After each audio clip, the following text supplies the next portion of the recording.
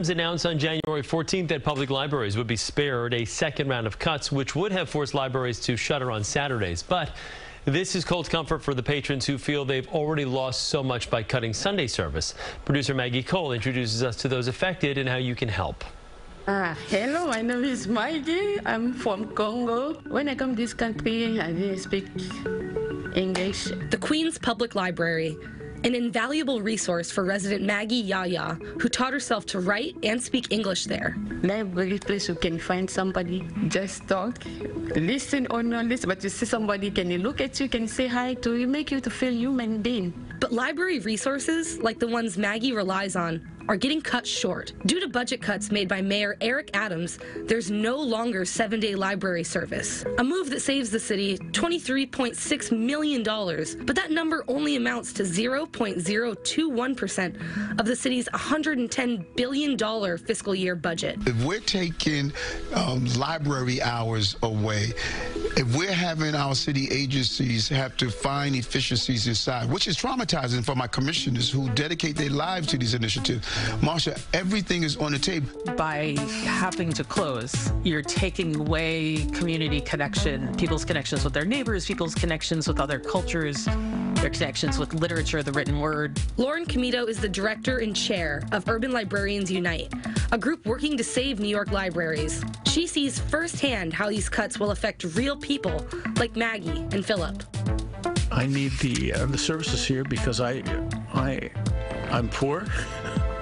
And I don't have uh, my own computer at home. Uh, so access to the equipment here is essential for me. I have the experience of homelessness. So what do we do? What comes next? The library has something to give to everybody. And what the public needs to be doing right now, if they value that, is to be talking to their elected representatives and also to be an active library user. Rachel Finston is a librarian in Maryland, where this year, public libraries actually had an increase in their yearly budget, according to the General Assembly of Maryland. This is thanks to mandated funding increases that Maryland instituted to avoid ongoing budget cuts. What we need is statistics proving that people use the library. If you go out and get a library card right now, you are a check mark that tells people this library is valued. If you go out and check out a book, you are another hash mark that says somebody is using this. You know, the libraries are one of the largest providers of adult education, of literacy, of after school programming, of any entity in New York. And they do a phenomenal job with very limited resources. For education, when we come, we don't make money, we don't have money when the libraries is giving us education without cost us. To me, the the defunding of, of the libraries mean an exacerbation of my own situation. For instance, people who are homeless or, or jobless. The revenue for the city's budget is actually up right now.